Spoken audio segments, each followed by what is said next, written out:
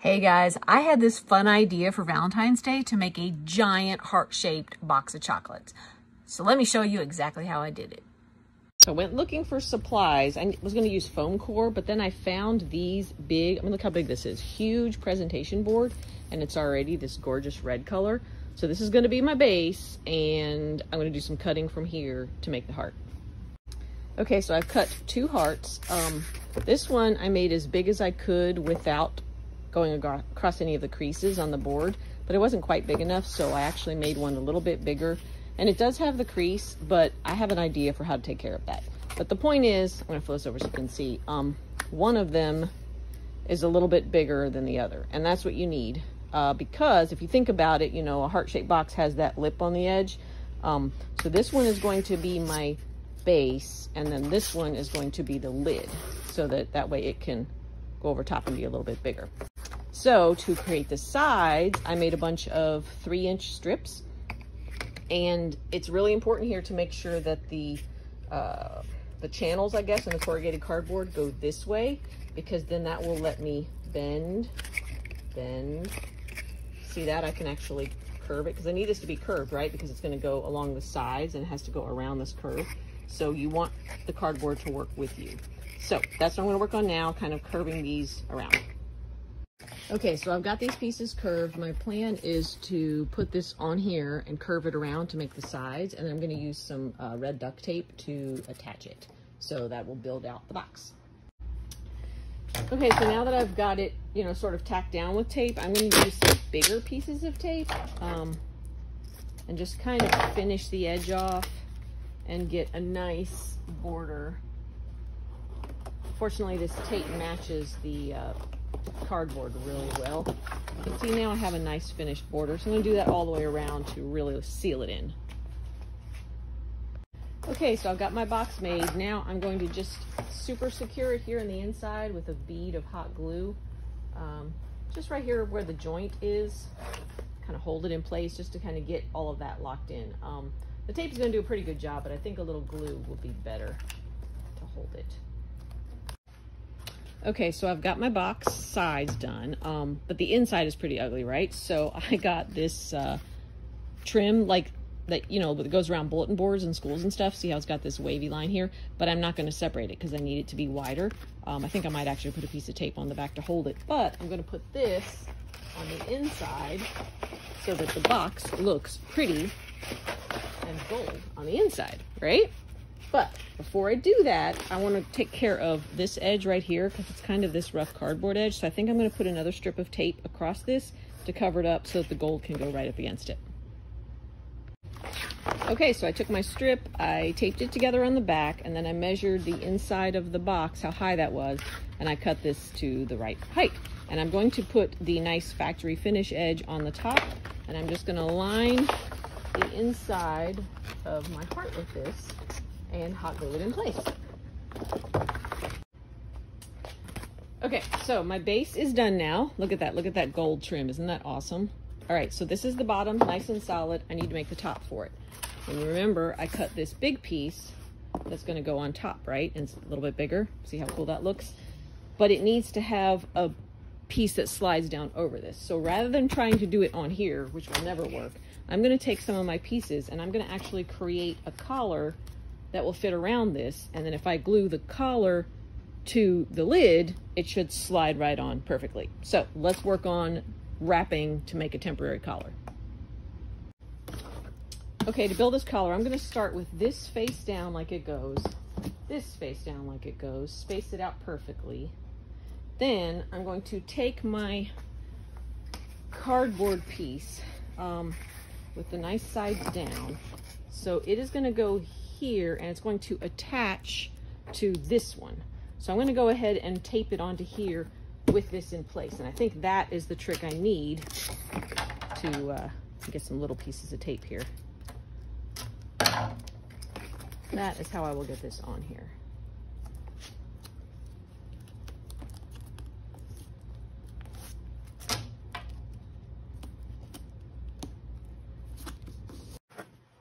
Okay, I've got that secured all the way around. Now I can take this out.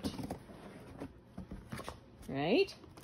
Now let's flip it over So there's my bottom of my heart. Here's my new lid, which should fit perfectly. Excellent, right on top. Okay, now I got a little more work to do though, because I want this lid, it still has this crease in it, and I want to take care of that. So I'm going to put an extra piece of cardboard here just to kind of secure it so that that doesn't bend. And I think I might run some hot glue around the edges too, just to really lock it down. Okay, so I did a little more work. Um, remember how the lid has this overlap that comes out, which is appropriate for the box? Um, and then the bottom didn't. I decided the bottom needed to have that same overlap. So I just cut a big piece, actually pieced a couple pieces together. Um, I traced this heart shape so that it would match.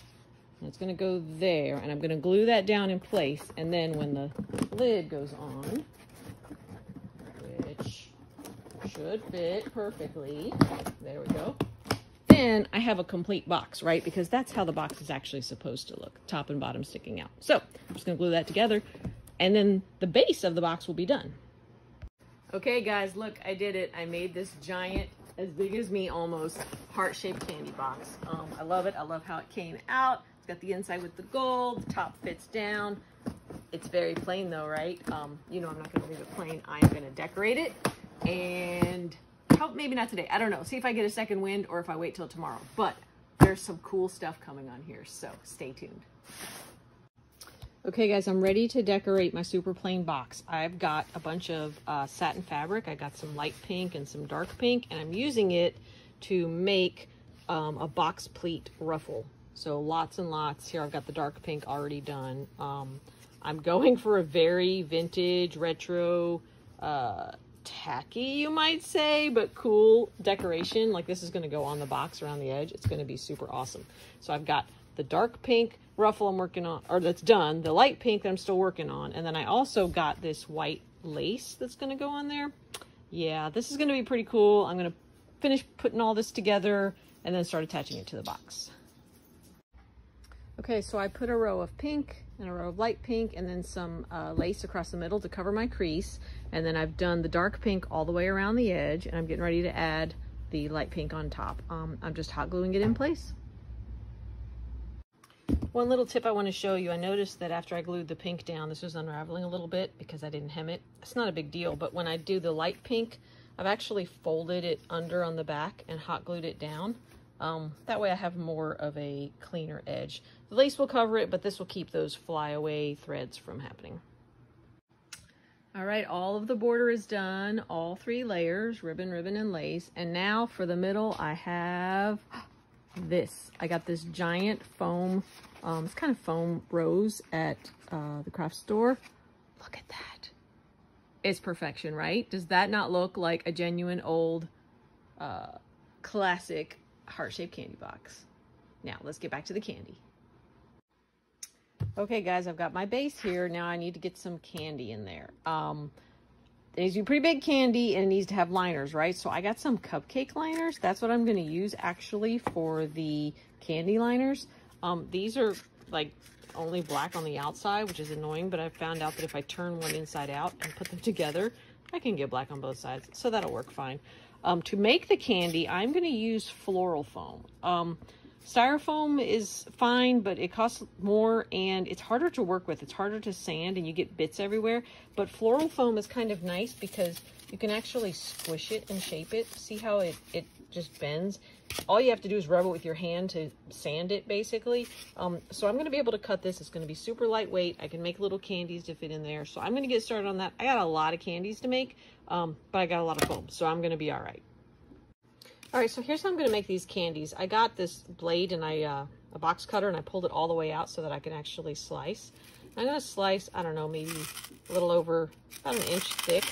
I just kind of go straight down. It's a little tricky to do one-handed, you know. There we go. I have my piece, and then I can cut it into a square.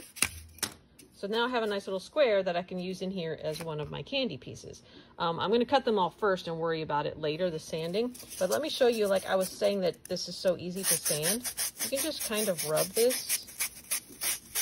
See how nice that gets so rounded like a real candy? So I'm going to make some squares, I'm gonna make some circles. I'm gonna try to do different things um, and just fill this out with liners before I worry about actually coating them or treating them or making them look like candy. I'm gonna work on the shapes. Okay, so I want to show you how easy it is to carve this foam into a candy shape. So I've got my box cutter again, um, very sharp, and I'm going to sort of use it as a paring knife. I'm going to turn this into a round piece of candy. So I'm just going to start by just cutting the corners off. See how easy that cuts? I mean, that is so much easier than styrofoam. Um, just kind of round it, little light cuts. And then around the edge here, sort of bevel that a little bit. Then when you have the basic shape, just start rubbing. I mean, your finger is enough resistance. You don't need sandpaper.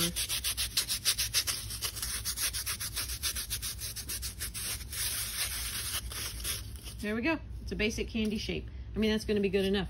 I've got round ones. I've got some little like cherry cordial shapes. I'm going to do some square ones like for caramels. I'm just going to make lots of candy. I need about 50 of them, I think, to fill this. So I've got a lot to work on.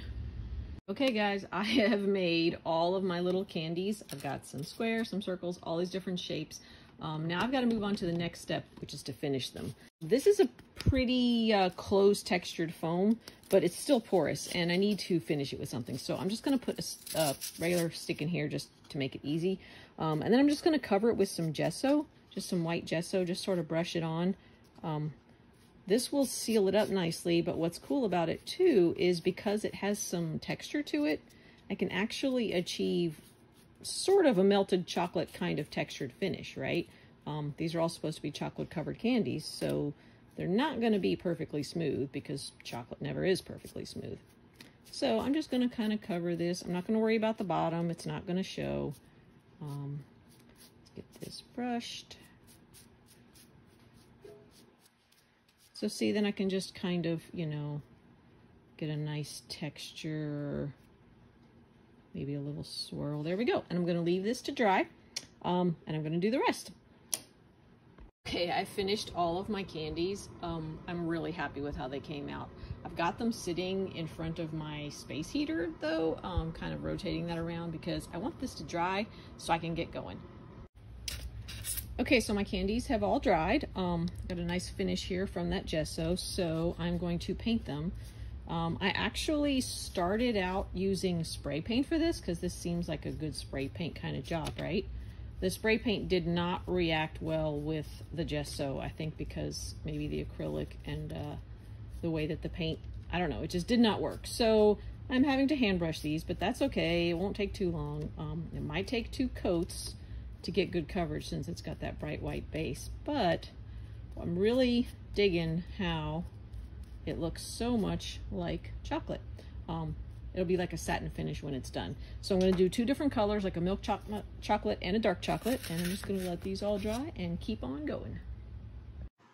Okay, so I just finished the second coat of paint on my chocolates. I've got half dark chocolate, half light chocolate, or milk chocolate. So this just needs to dry. Um, I think I've got all the pieces together. Now it's time to put the candy in the box. Um, I'm putting each one in a uh, black cupcake liner and just tucking it in. I'm going to dry fit everything first. Look at that. Look at all the candy in there. Um, once I make sure that it's all going to fit, then I'm just going to put a little hot glue, glue each piece to the liner, and then glue the liner to the base. And then that will fill out all of my chocolates. Okay, I'm ready. I'm done. I'm ready to show you my finished box. Of course, we have all this beautiful decorations that I put on there. And now when we open it up, we have all of this chocolate.